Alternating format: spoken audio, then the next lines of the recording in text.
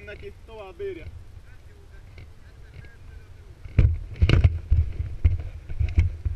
Nem csak már nagyon régóta szenvedek vele.